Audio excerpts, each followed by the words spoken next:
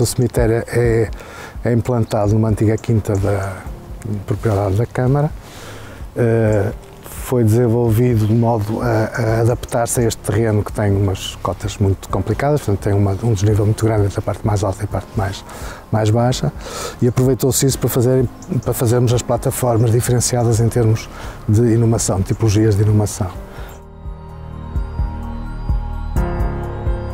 No meio disto tudo existem alguns setores especiais, como o cemitério infantil, que aproveitou uma zona muito bonita que tem um, um, um enquadramento arbóreo muito, muito grande. Uh, algumas zonas de enterramento de coletividades, portanto, ou que poderiam ser destinadas a coletividades ou individualidades, sobretudo na zona da entrada e neste, neste patamar intermédio.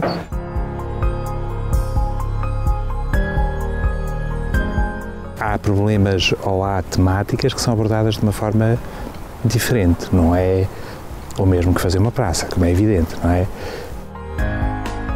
Há uma preocupação maior pelo respeito eh, pela forma como as pessoas vão entender o espaço. Porque não é um local onde se vá de forma despreocupada. É um local eh, em que as pessoas trazem sempre algum pesar. Portanto, não, não há três palavras que definam o cemitério, muito menos este, não é?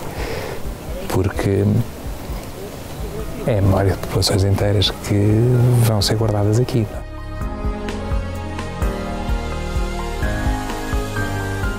Não é obrigatório, não é, vir cá visitar alguém para se visitar o cemitério e para se estar.